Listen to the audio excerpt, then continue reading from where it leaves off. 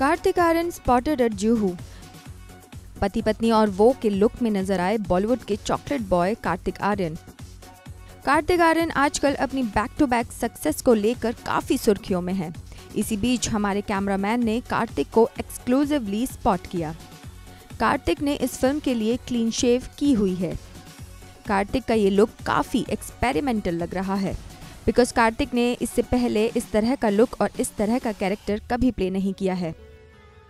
वैसे हम आपको बता दें कि आजकल कार्तिक सारा अली खान के साथ लव आजकल के सीक्वल की शूटिंग कर रहे हैं, जिसे इम्तियाज़ अली डायरेक्ट कर रहे हैं। इस जोड़ी को एक साथ देखना ऑडियंस के लिए काफ़ी दिलचस्प होने वाला है, क्योंकि सारा और कार्तिक के चर्चे सभी की ज़ुबान पर है। ऑडियंस का इंतज़ार जल्दी ही खत्म होने वाला है और कार्तिक और सारा का रोमांस बड़े पर्दे पर सभी को देखने को मिलेगा। आपको बता दें कि फ़िल्म लव आजकल 2009 में रिलीज़ हुई थी और इस फ़िल्म में सारा के पिता सैफ अली खान के साथ दीपिका पाडुकोण की जोड़ी ने दर्शकों का खूब प्यार बटोरा था। अब देखना ये होगा कि क्या वही प्यार सारा और कार्तिक की जोड़ी को मिल पाएगा?